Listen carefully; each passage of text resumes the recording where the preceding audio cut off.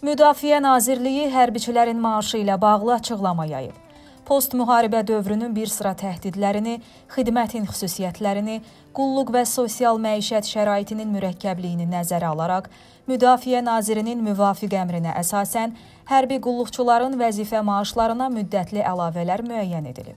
Əmrə əsasən Azərbaycan ordusunun Ermənistanla dövlət sərhədində və Azərbaycanın Qarabağ bölgəsində Rusiya Federasiyası sülhməramlı kontingentinin yerləşdirildiyi zonaya bitişik ərazilərdə hərbi xidmət keçən hərbi qulluqçuların vəzifə maaşlarına 100% həcmində müddətli əlavələr təyin edilib.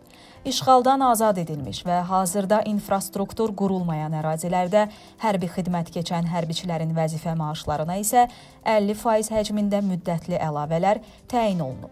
Qeyd edək ki, əmr cari ilin yanvar və fevral ayları üçün ödəniləcək pul təminatına da şamil edilir.